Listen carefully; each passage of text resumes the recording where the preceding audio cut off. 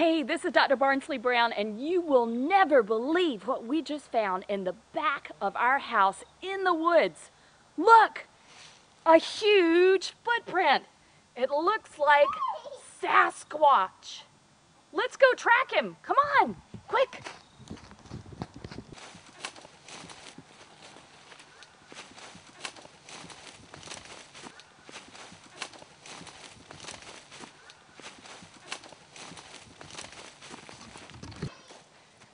Oh gosh, I am so out of breath. Listen, we had no luck tracking Sasquatch, but you can track your expenses. All you have to do is get yourself a little notebook at the nearest drugstore and just keep track of things. Like, for example, Staples, $80.74. Gas, $18. K&W, $10.43. Mmm, I love the K&W. Get yourself a notebook and keep track of every cent that you spent.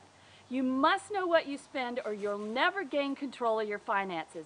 And if you don't gain control of your finances, you will never get yourself out of debt and achieve financial freedom. I'm Dr. Barnsley Brown and I have to tell you, Sasquatch might hide out in the hills, but you don't have to. Track your expenses. For more information, go see my article at http colon forward slash forward slash tinyurl.com forward slash Dr. B dash Sasquatch. S A S Q U A T C H. Check it out and see you soon. Dr. Brown saying, have a prosperous day.